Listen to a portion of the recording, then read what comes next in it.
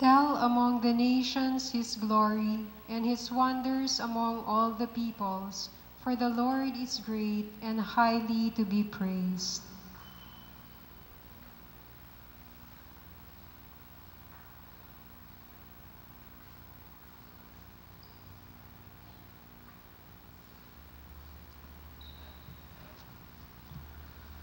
In the name of the Father, and of the Son, and of the Holy Spirit. Amen. The grace of our Lord Jesus Christ, and the love of God, and the communion of the Holy Spirit be with you all. And with your spirit, Brothers and sisters, let us acknowledge our sins, and so prepare ourselves to celebrate the sacred mysteries.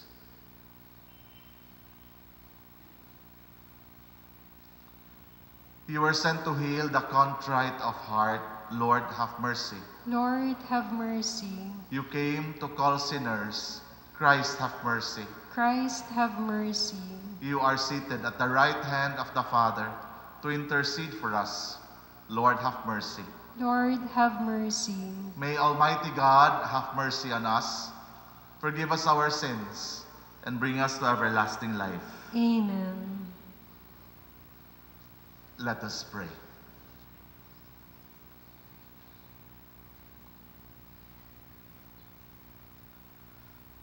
O God, who adorned Saints Timothy and Titus with apostolic virtues, grant through the intercession of them both that living justly and devoutly in this present age, we may merit to reach our heavenly homeland through our Lord Jesus Christ, your Son, who lives and reigns with you in the unity of the Holy Spirit, God forever and ever.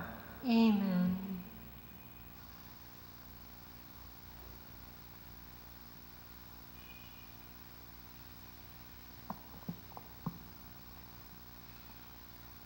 A reading from the beginning of the second letter of St. Paul to Timothy.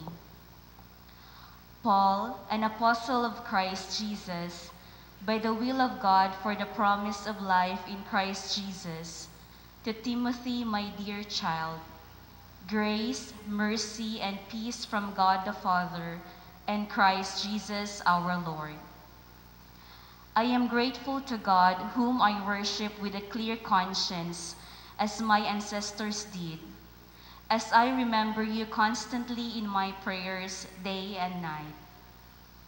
I yearn to see you again, recalling your tears so that I may be filled with joy, as I recall your sincere faith that first lived in your grandmother Lois and in your mother Eunice, and that I am confident lives also in you. For this reason, I remind you to stir into flame the gift of God that you have through the imposition of my hands. For God did not give us a spirit of cowardice, but rather of power and love and self-control. So do not be ashamed of your testimony to our Lord, nor of me, a prisoner for his sake, but bear your share of hardship for the gospel with the strength that comes from God. The word of the Lord. Thanks be to God. Proclaim God's marvelous deeds to all the nations. Proclaim God's marvelous deeds to all the nations. Sing to the Lord a new song. Sing to the Lord, all you lands. Sing to the Lord, bless his name. Proclaim God's marvelous deeds to all the nations. Announce his salvation day after day. Tell his glory among the nations, among all peoples his wondrous deeds. Proclaim God's marvelous deeds to all the nations. Give to the Lord, you families of nations. Give to the Lord glory and praise. Give to the Lord the glory due his name. Proclaim God's marvelous deeds to all the nations. Say among the nations, the Lord is king. He has made the world firm, not to be moved. He governs the peoples with equity. Proclaim God's marvelous deeds to all the nations. Please stand. Alleluia, Alleluia. A lamp to my feet is your word, a light to my path. Alleluia, Alleluia.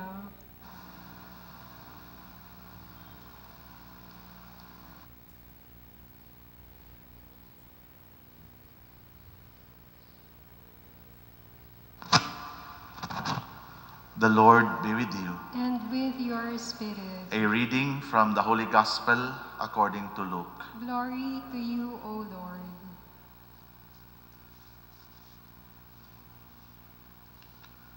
The Lord Jesus appointed 72 other disciples, whom he sent ahead of him in pairs to every town and place he intended to visit.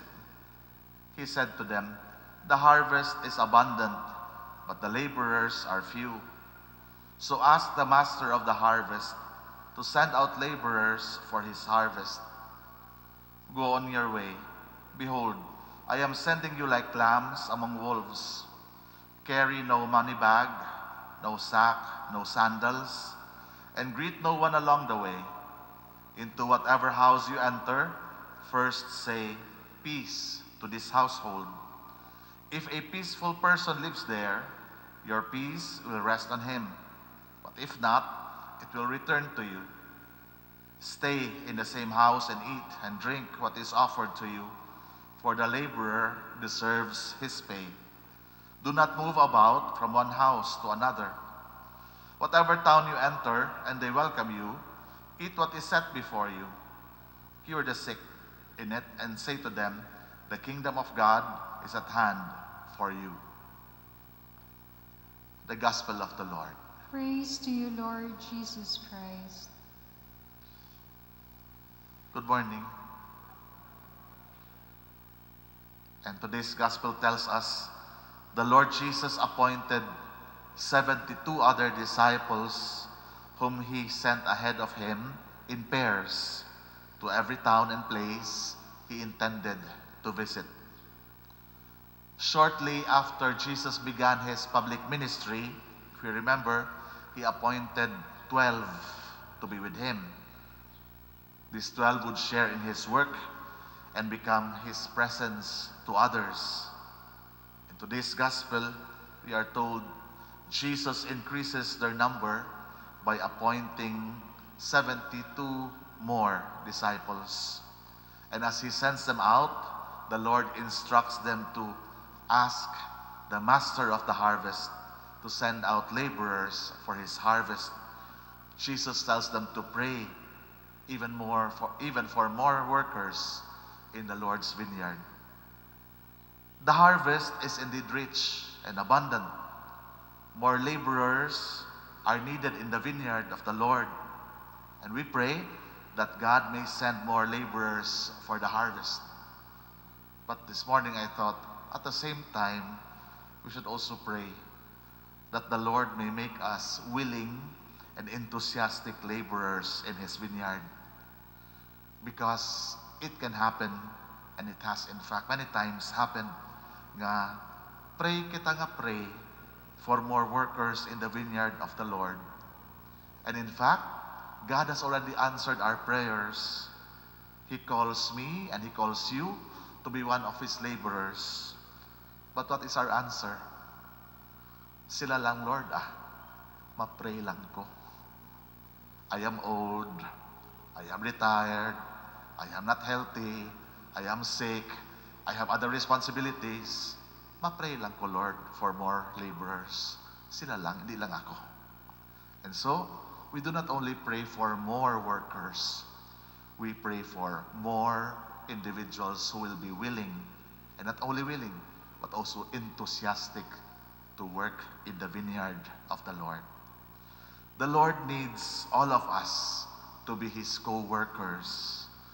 By virtue of our baptism, we are called to become a witness to the person and the message of Jesus. In other words, each one of us has an important role to play in the task of proclaiming the gospel.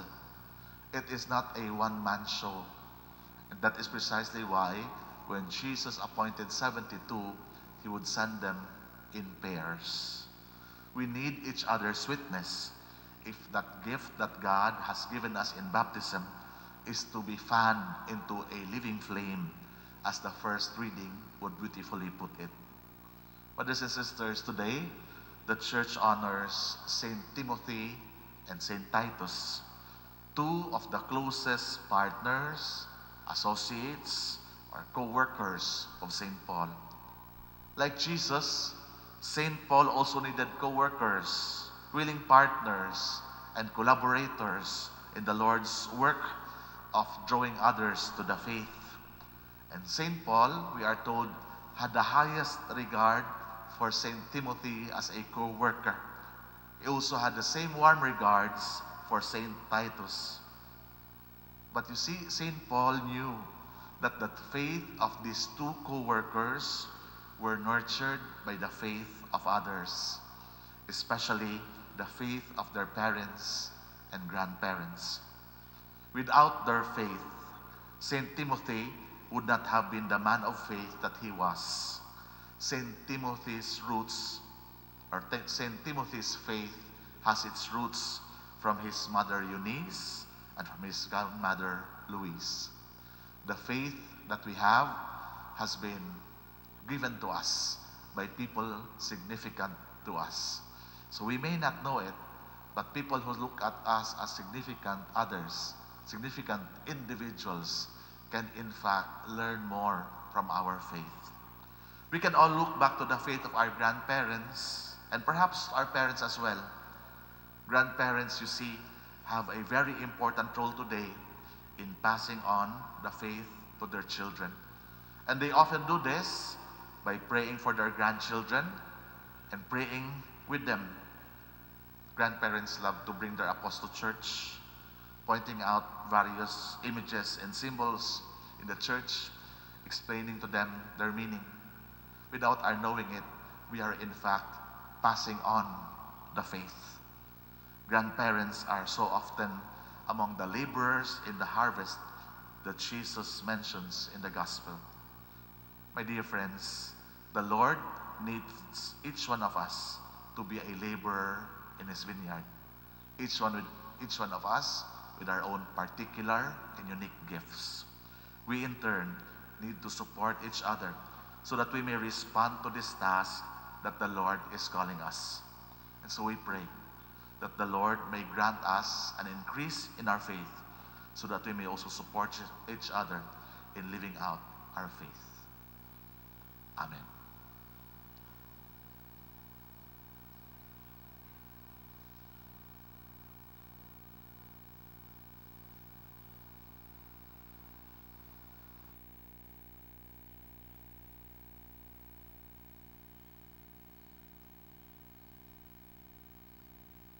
We stand for the prayers of the faithful.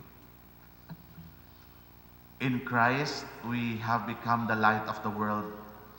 As a lamp is placed on a lampstand to give light to all in the house, may the light of our faith shine before others for the glory of our Father in heaven. And for every petition, let our response be, Lord, bring light to our life. Lord, bring light to our life. May the word of God be a lamp for our feet and a light to our path in our journey through life. We pray. Lord, Lord, bring bring light to our life. May Christ faithful by their good works shine before human being so that all may glorify the Father who is in heaven. We pray. Lord, Lord, bring light to our life. May consecrated women keep their lamps of faith and charity burning while they wait for the coming of Jesus, the bridegroom, into their lives. We pray. Lord, bring light to our life. May those who have stayed in the darkness of sin for so long come into the light and freedom of God's children. We pray. Lord, bring light to our life.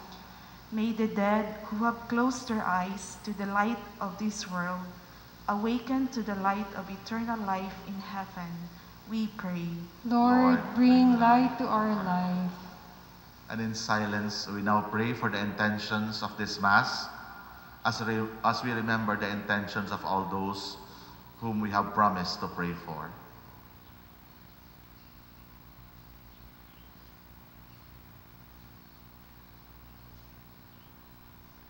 We pray to the Lord.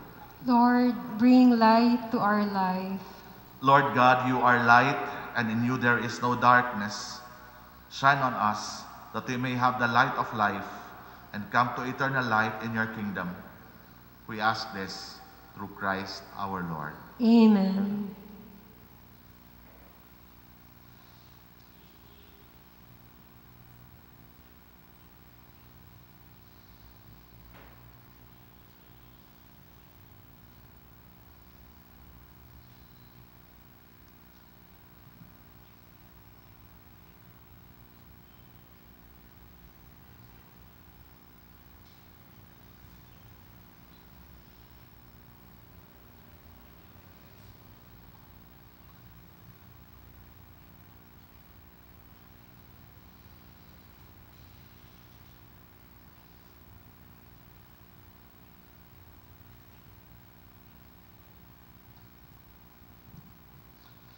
Blessed are you, Lord, God of all creation.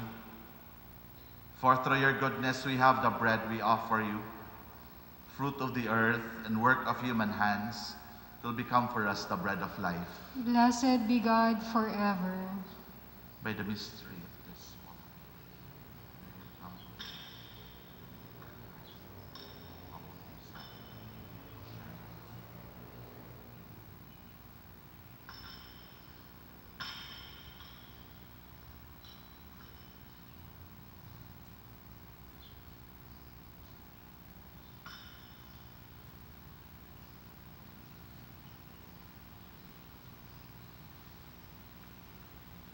Blessed are you, Lord God of all creation.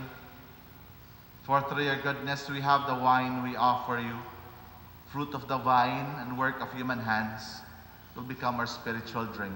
Blessed be God forever. With humble spirit and contrite hearts, may we be accepted by you, O Lord.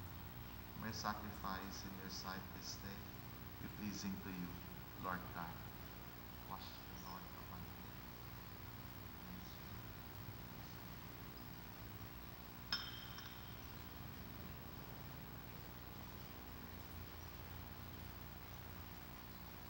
Pray, sisters and brothers, that my sacrifice and yours may be acceptable to God, the Almighty Father. May the Lord accept the sacrifice at your hands for the praise and glory of his name, for our good and the good of all his holy church. Receive, O Lord, we pray, the offerings of your people, which we bring in celebration of Saints Timothy and Titus, and in your kindness, render us fully acceptable by giving us sincerity of heart through Christ our Lord. Amen.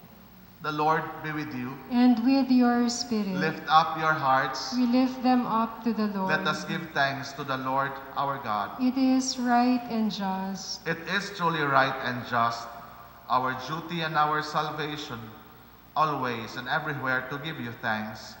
Lord, Holy Father, Almighty and eternal God, through Christ our Lord. For us on the festival of Saints Timothy and Titus, you bid your church rejoice.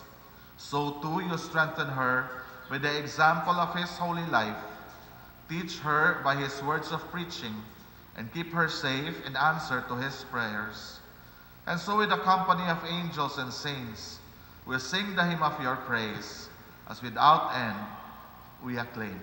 Holy, holy, holy, Lord God of hosts, heaven and earth are full of your glory. Hosanna in the highest. Blessed is he who comes in the name of the Lord. Hosanna in the highest.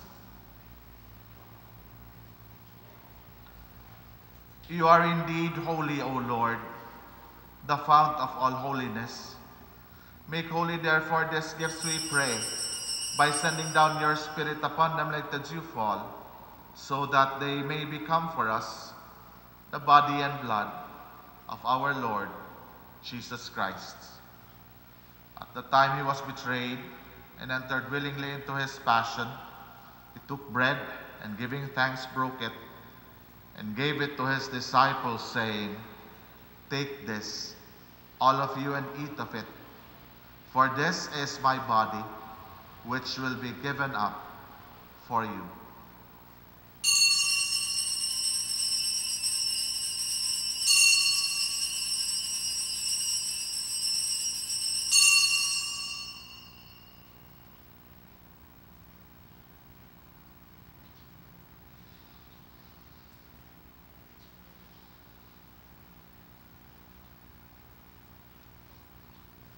In a similar way, when supper was ended, he took the chalice, and once more giving thanks, he gave it to his disciples, saying, Take this, all of you, and drink from it.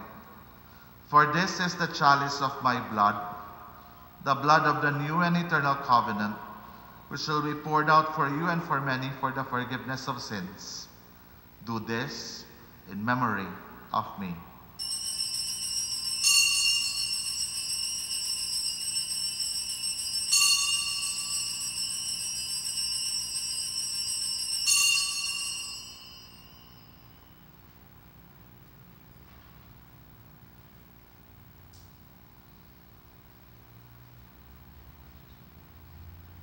The mystery of faith. We proclaim your death, O Lord, and profess your resurrection until you come again. Therefore, as we celebrate the memorial of his death and resurrection, we offer you, Lord, the bread of life and the chalice of salvation, giving thanks that you have held us worthy to be in your presence and minister to you. Humbly we pray that partaking of the body and blood of Christ, we may be gathered into one by the Holy Spirit. Remember, Lord, your church spread throughout the world and bring her to the fullness of charity, together with Francis, our Pope, and Patricio, our Bishop, and all the clergy. Remember also our brothers and sisters who have fallen asleep in the hope of the resurrection, and all who have died in your mercy. Welcome them into the light of your face.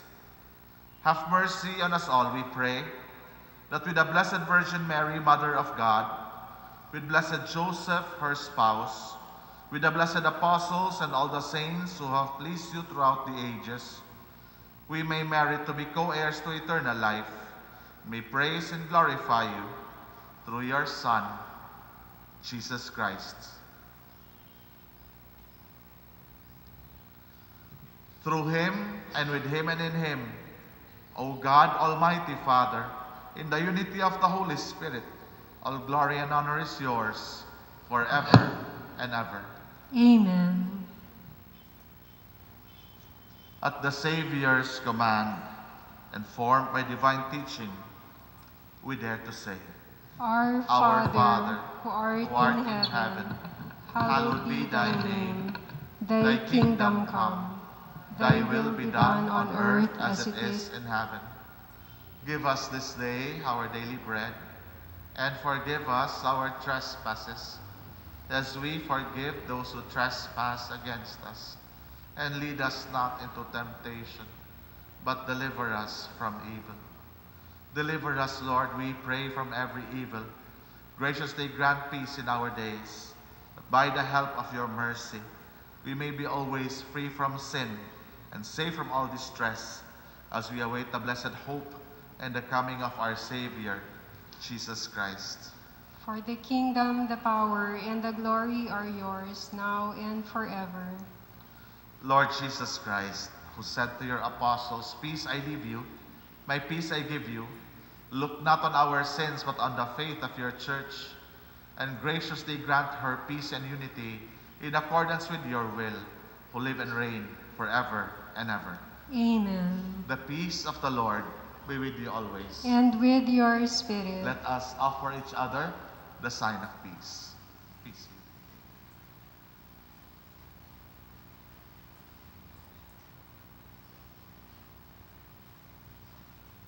Lamb of God.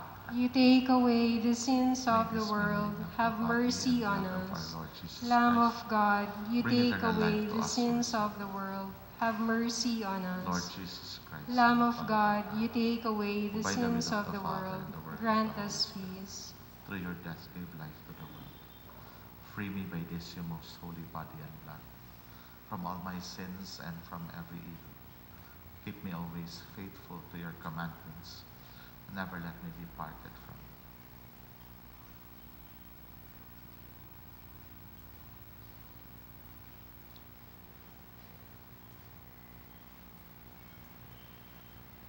Behold the Lamb of God. Behold him who takes away the sins of the world. Blessed are those called to the supper of the Lamb. Lord, I am not worthy that you should enter under my roof, but only say the word, and my soul shall be healed. And may the body of Christ keep me safe for eternal life.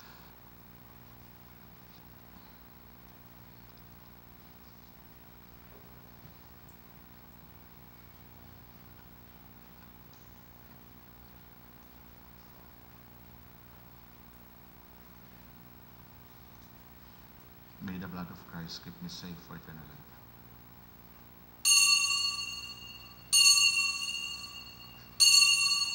Go into all the world and proclaim the gospel.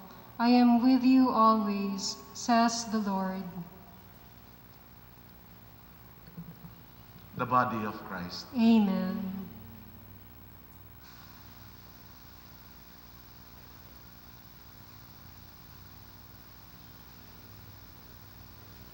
For those who are joining our live stream celebration, let us now pray the spiritual communion prayer. O my Jesus, I believe that you are truly present in the Blessed Sacrament. I love you and I desire you to come into my heart. Since I cannot receive you sacramentally, come spiritually into my heart. I embrace you. Oh, never leave me. May the burning of and most sweet power of your love consume me, that I may die for you, who died for love of me. Amen.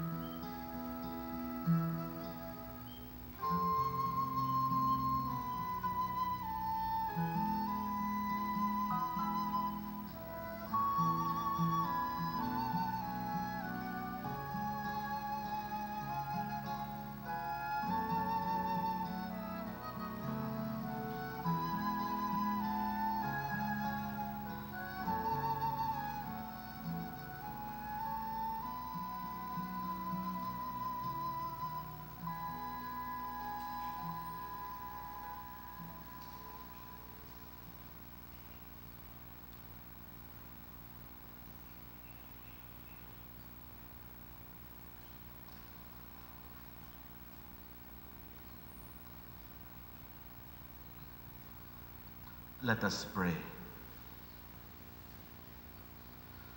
May the sacrament we have received, O Lord our God, nourish us in that faith taught by the preaching of the apostles and kept safe by the labors of Saint Timothy and Titus through Christ our Lord. Amen.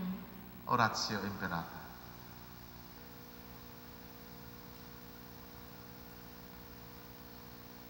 Merciful and compassionate Father, we confess our sins and we humbly come to you to find forgiveness and life.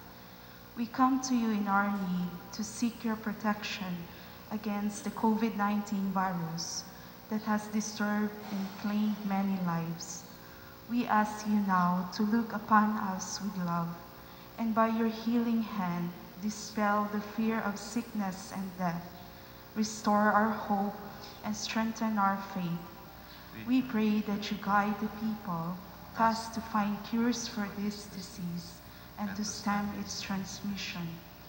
Bless our efforts to use the medicines developed and end the pandemic in our country. We pray for our health workers that they may minister to the sick with competence and compassion. Grant them health in mind and body, strength in their commitment, protection from the disease. We pray for those afflicted, may they be restored to health. Protect those who care for them. Grant eternal rest to those who have died. Give us the grace in these trying times to work for the good of all and to help those in need. May our concern and compassion for each other see us through this crisis and lead us to conversion and holiness. Grant all this through our Lord Jesus Christ, your Son, who lives and reigns with you in the unity of the Holy Spirit, God forever and ever. Amen. We fly to your protection, Holy Mother of God. Do not despise our petition and our necessities, but deliver us always from all dangers. O glorious and blessed Virgin. Amen. Our Lady, health of the sick. Pray for us. Saint Joseph. Pray for us. Saint Raphael the Archangel. Pray for us. Saint Sebastian. Pray for us. San Roque. Pray for us. San Lorenzo Ruiz. Pray for us. San Pedro Calungsod. The Lord be with you, And with your spirit. and may Almighty God bless you, the Father and the Son and the Holy Spirit. Amen. The Mass is ended. Let us go in the peace of Christ. Thanks be to God.